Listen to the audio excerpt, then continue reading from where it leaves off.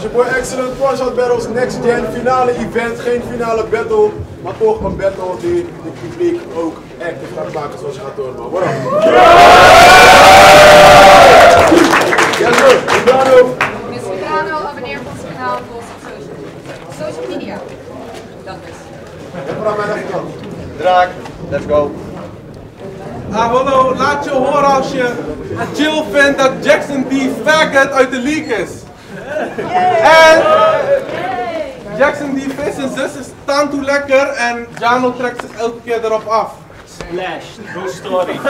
Shout out naar Shelly. Let's go man. Voor de informatie voor de intro. Even voor de informatie voor de intro, maar eh Draak zal beginnen als jullie nog één keer energie laten horen, man. We zijn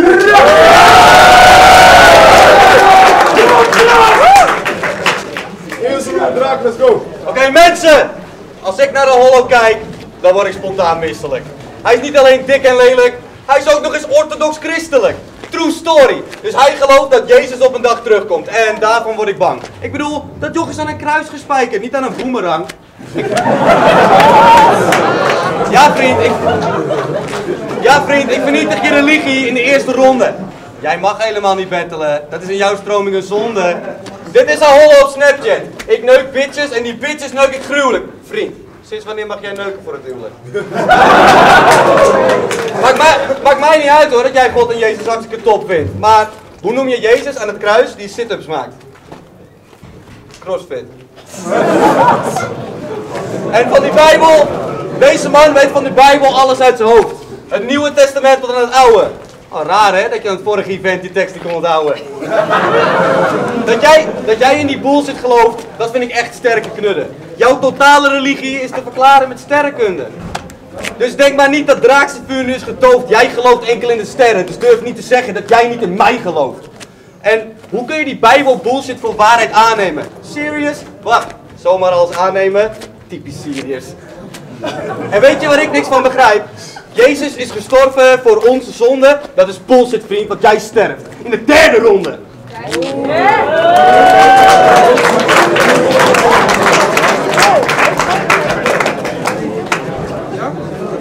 Ronde, let's go. Dit wordt de battle van de jokes.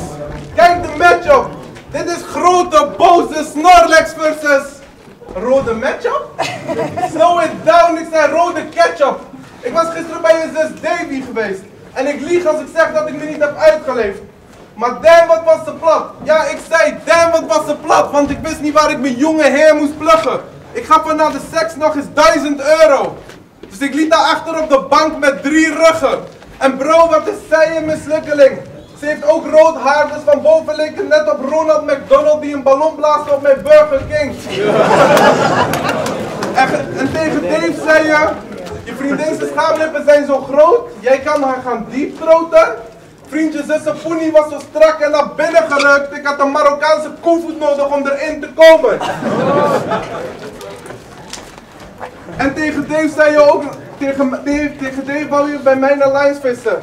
Maar het onderwerp veranderde gauw, want ik liet als een haai niks los. Je vroeg wat ik van je battle tegen de Zwollenaar vond. Nou, wahahau.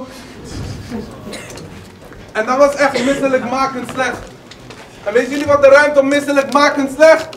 Er wachten er onder drie personals over je moeder en dan kill ik je pas echt. Tweede ronde,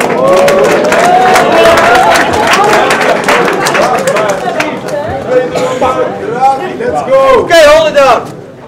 Jij wil beginnen over mijn moeder. Waarom? Het is een hartstikke aardige vrouw. En ze helpt mensen gewicht verliezen. Misschien net wat voor jou.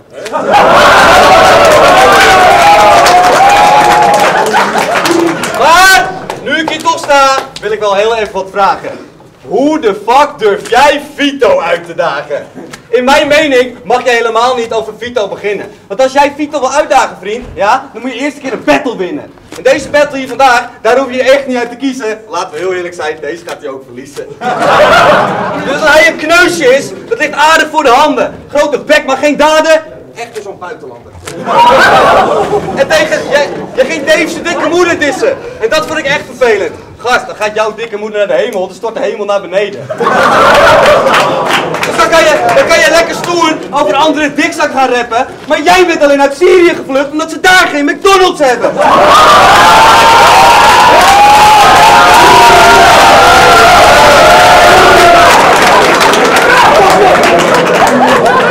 En tegen Dave zei je, ik ben luchtmacht.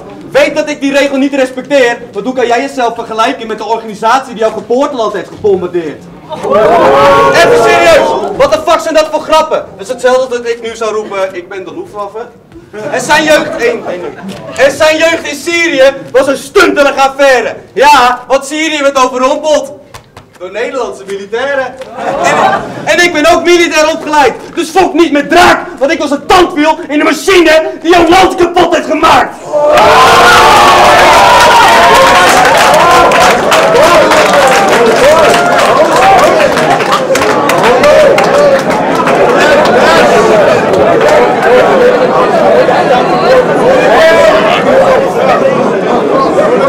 What Aholo, clap back. Clap back, let's go. Let's go. Meneer zei, je moet die gast gaan vlammen en vuren. Jouw vlammen en vuren, mijn lijst verbrandde je toch niet. Die sukkel is al rood van nature. En tegen Bahadir was je matig. En tegen de Zwollenaar was je ook al niet zo sterk.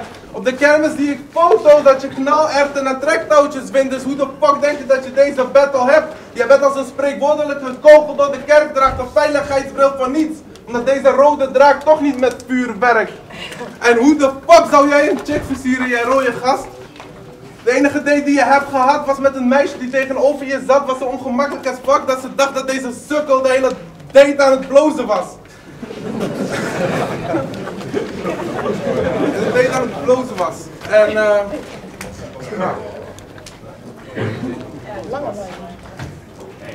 En wisten jullie dat Yari ook wel eens Halloween wordt genoemd? Want zijn kop lijkt sprekend op een pratende pompoen. En hoe de fuck moet ik hem serieus nemen? Je bevalling kwam tot stand na een paar van je moeder haar kut scheten. En dat is gewoon kut, weet je, maar dat is gewoon kut spreken. De lippen gingen heen en weer met de pufjes, zonder dat ik iets kon aflezen. Het klonk en zag eruit als een van de vele rondes van Taser. En zo naar Taser trouwens. En, hè? Maak, maak je borst maar nat, want in ronde 3 kom ik hard. True stories en personals, omdat je je moeders Facebook niet beveiligd had. Let's go. Voor de laatste deel van de. Geef nog één keer over deze battle, man.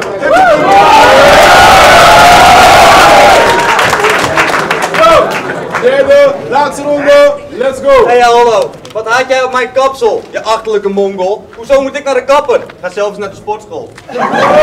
en en hij, vertelde, hij vertelde mij aan de telefoon, Draak, deze battle, dit is de hardste shit die ik ooit heb geschreven. Maakt niet uit joh, deze ronde ga ik alsnog in je rug steken. en sorry als het lijkt alsof ik de hele tijd heel lang preek. Was bijna vergeten dat je om vijf uur terug moet zijn op het AZC. en jouw, jouw totale religie, wat wow, bij jou. Jouw delivery rolt een end op. Jouw stem slaat zo vaak over, waarschijnlijk heb je kanker in je strot. En voor, voor dit event, mensen, hebben wij twee nog even gebeld. En toen heeft hij met zijn stomme kop mij wat informatie verteld. Want zijn neefje heeft Down syndroom. En van hem mag ik daar niet over rappen. Dus daar ga ik het vandaag ook niet eens meer over hebben. Nee, serieus. Ik ga me daar die box niet voor geven. Ik ga het er niet over hebben. Want ik vind dat zo'n laffe actie binnen Battle Rap gewoon totaal niet eerlijk is. Psych! Best wel geinig dat je neefje sterft voordat hij 20 is! Oh, hallo vriend! Wat doe jij hier met je leven? Want als jij denkt dat je hier thuis hoort, dan ben je net zo'n mongool als je neefje. Dat is oké. Stel je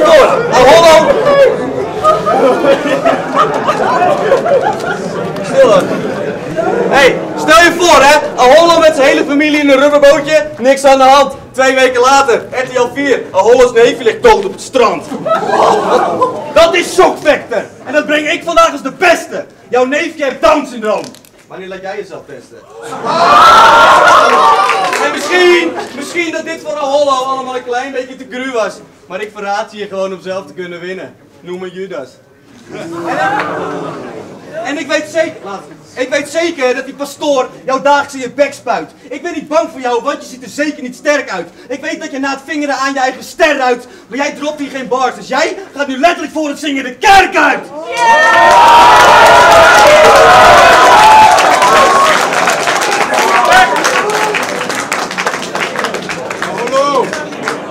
Clap back. Oké, Clap back. Let's go. mijn derde ronde. En jij hebt geluk dat ik niks heb gevonden over een dode familielid. Anders kreeg diegene bars in de vorm van een speech en was ik even een familielid. Maar dingen over je moeder heb ik wel gevonden. Want zijn moeder heeft een BV genaamd Wegen Succes. Onthoud goed hè, Wegen Succes. Nou, ik ben misschien zoals hij al zei geen bewegend succes, maar het wordt wel een wegend succes als ik nu kom met een personal les. Je moeder heet Sandra Vel en ze is in relatie met John Roshan. Jij en je zus heet de Jacob. Dus voel je al de stress? Je moeder is nummer 1 hoer in de regio. Ze deed de benen voor meerdere mannen open en richtte een BV op wegen succes. En hoe durfde je mij te DM'en voor een battle? Dacht je dat je van mij kon winnen? Was begonnen met het beveiligen van je moeders Facebook flikken, want het is net als een plaat van een DJ. Ze wordt door meerdere mannen bespeeld, maar heeft maar één spot in het midden. En ik heb hier, want hij was goed, hij was goed met papieren tegen Dave, ben ik ook, kan ik ook.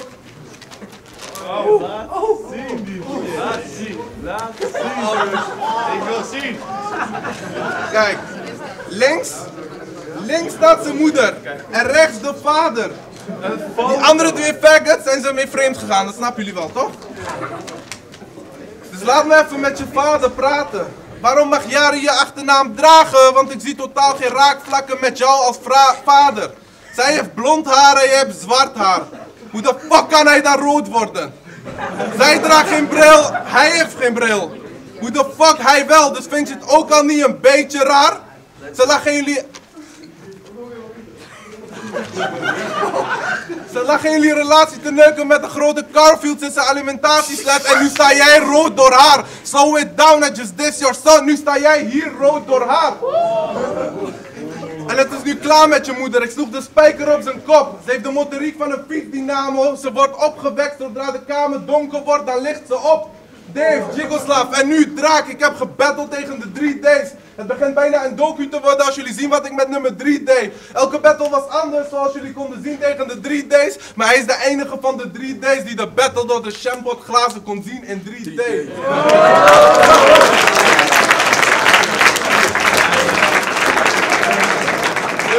Deze